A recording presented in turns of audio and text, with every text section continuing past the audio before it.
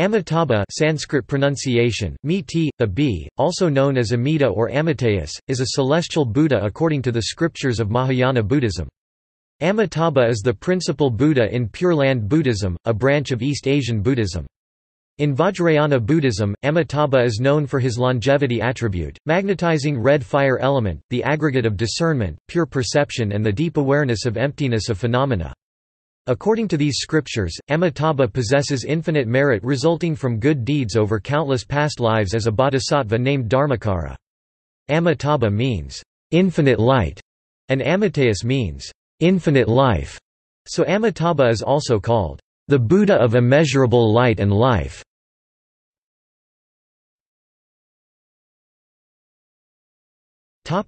Doctrine According to the larger Sutra of Immeasurable Life, Amitabha was, in very ancient times and possibly in another system of worlds, a monk named Dharmakara.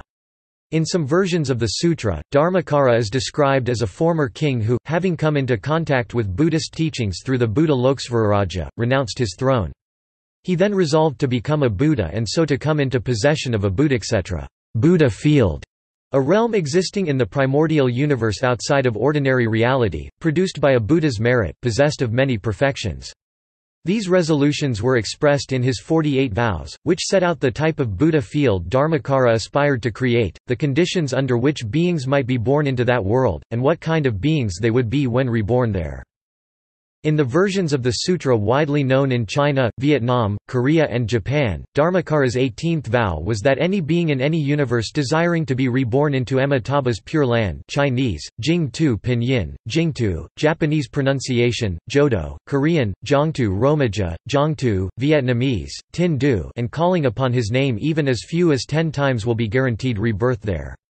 His nineteenth vow promises that he, together with his bodhisattvas and other blessed Buddhists, will appear before those who, at the moment of death, call upon him.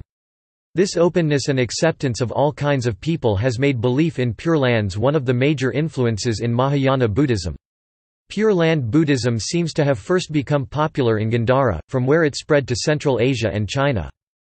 The sutra goes on to explain that Amitabha, after accumulating great merit over countless lives, finally achieved Buddhahood and is still residing in his land of Sukhavati, whose many virtues and joys are described.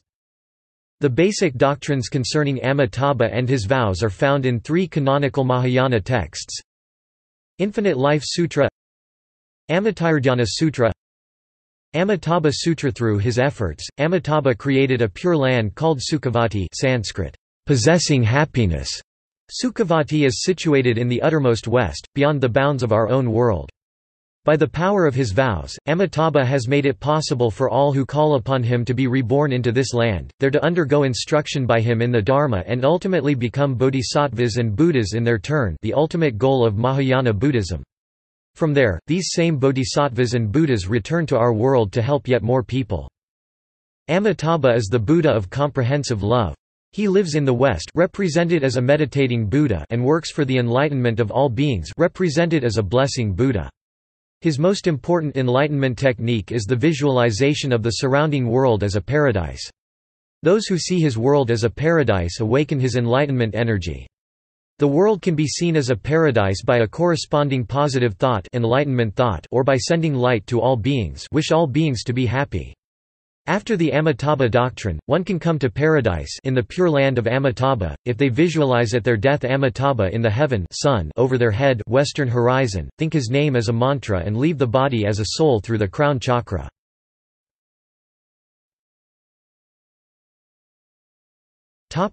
Vajrayana Buddhism Amitabha is also known in Tibet, Mongolia, and other regions where Tibetan Buddhism is practiced.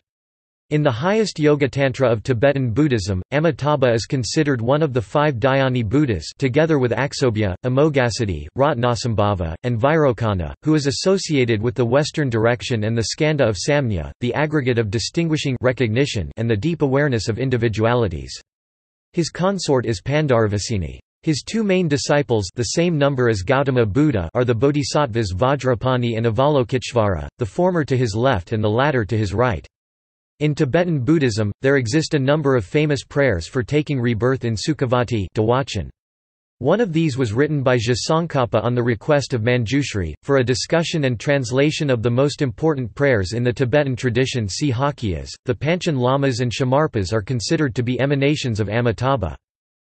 He is frequently invoked in Tibet either as Amitabha, especially in the Phowa practices or as Amitayus, especially in practices relating to longevity and preventing an untimely death. In Shingon Buddhism, Amitabha is seen as one of the thirteen Buddhas to whom practitioners can pay homage. Shingon, like Tibetan Buddhism, also uses special devotional mantras for Amitabha, though the mantras used differ. Amitabha is also one of the Buddhas featured in the womb realm mandala used in Shingon practices, and sits to the west, which is where the Pure Land of Amitabha is said to dwell.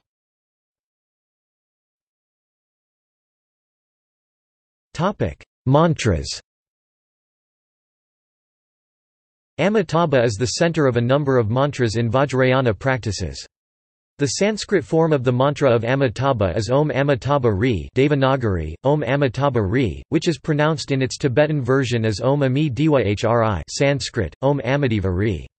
His mantra in Shingon Buddhism is on Amirita Taizé Kara Un Japanese, on Amirita Taizé Kara Un which represents the underlying Indic form Om Amirta Tahe Hara Hum.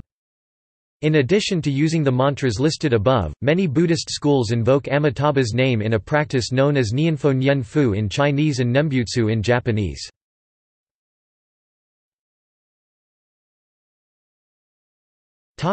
Names in various languages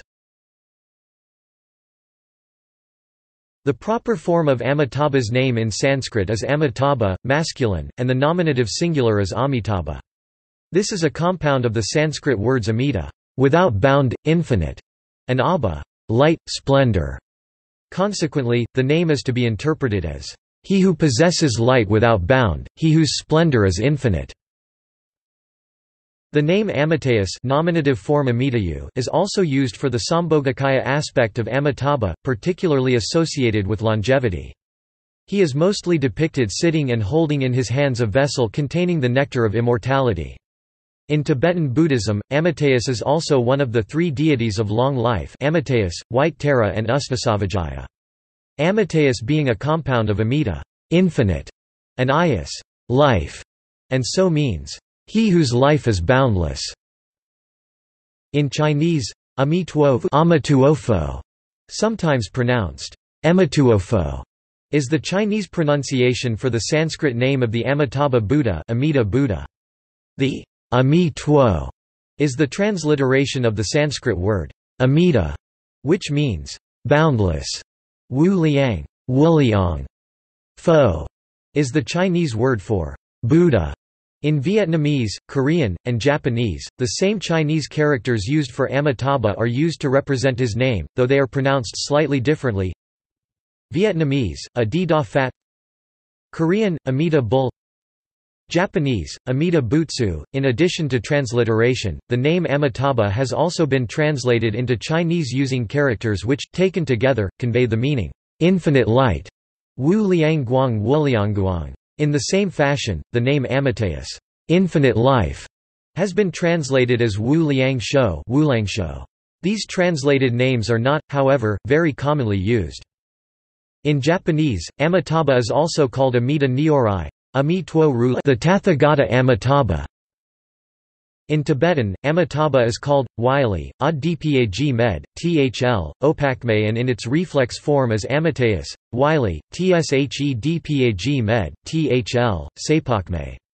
They are iconographically distinct.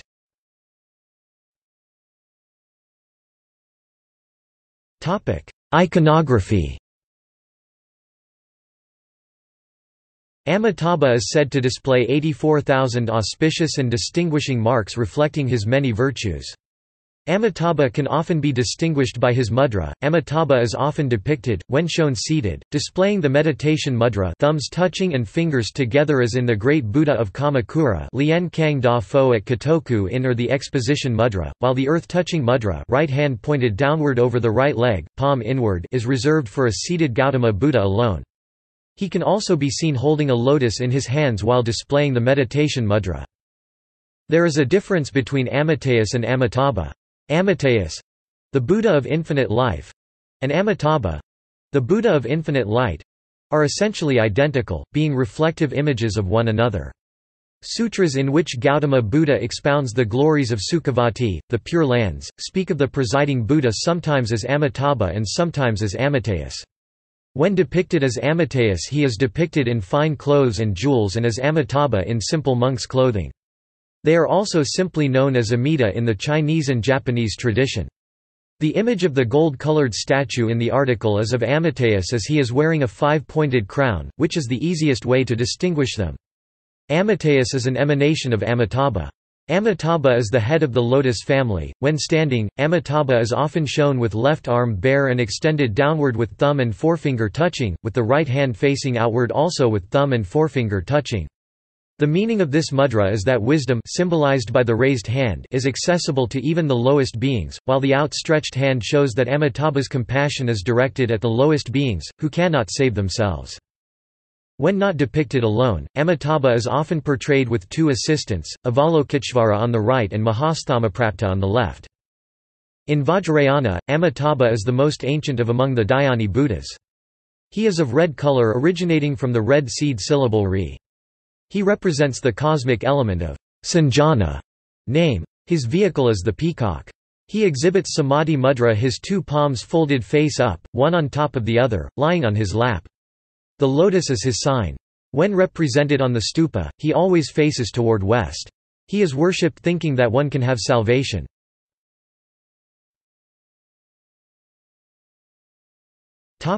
Archaeological origins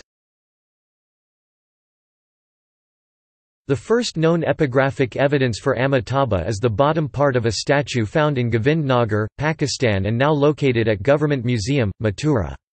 The statue is dated to the 28th year of the reign of Huviska, i.e., sometime in the latter half of the 2nd century during the Kushan Empire, and was apparently dedicated to Amitabha Buddha. By a family of merchants, the first known sutra mentioning Amitabha is the translation into Chinese of the Pratyutpanna Samadhi Sutra by the Kushan monk Lokaksema around 180. This work is said to be at the origin of Pure Land practices in China. The appearance of such literature and sculptural remains at the end of the 2nd century suggests that the doctrine of Amitabha probably developed during the 1st and 2nd centuries. Furthermore, there are sculptures of Amitabha in Dhyani mudras as well as bronzes of Amitabha in Abhaya mudra from the Gandhara era of the 1st century, suggesting the popularity of Amitabha during that time. One of the last prayer busts of Amitabha can be found in the trademark black stone of the Pala Empire, which was the last Buddhist empire of India and lost its influence in the 12th century due to Muslim conquests on the Indian subcontinent.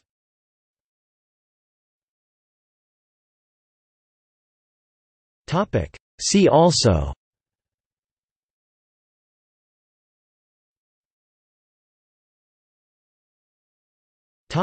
Notes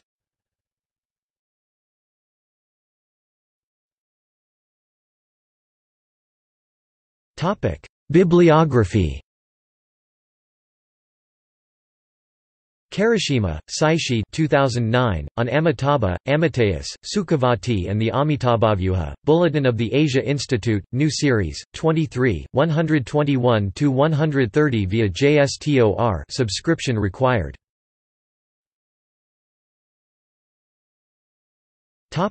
External links The Buddha speaks of Amitabha Sutra Pure Land, Shingon Buddhism, Amida Nyorai, Buddha of Infinite Light and Life H. H. Chetsang Rinpoche about Amitabha and Dewachen